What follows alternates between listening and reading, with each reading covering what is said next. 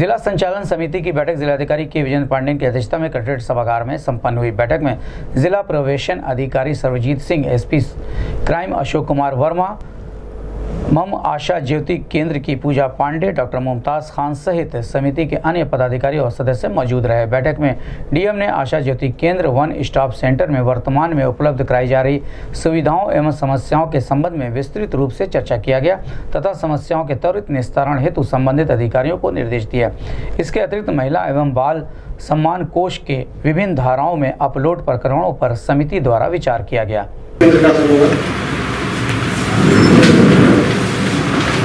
Drive दी जाती है sir उसमें स्टेटस लिखा हुआ सर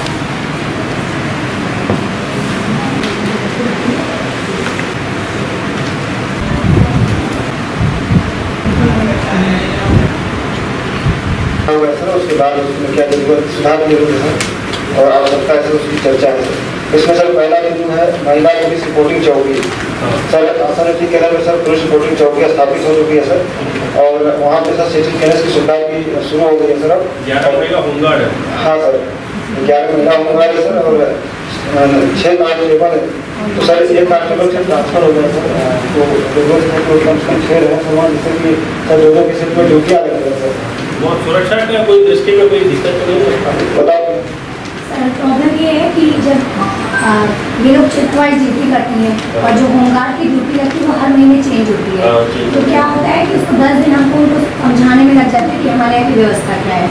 इससे बहुत दिक्कत है। तो और क्या होता है।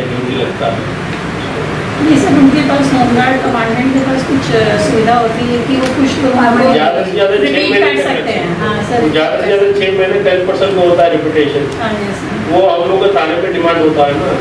है। चाहिए तो हम कर सकते हैं बट वो एक ही जगह टिक जाते हैं वही दिक्कत होता है चाहिए तो हम कर सकते हैं।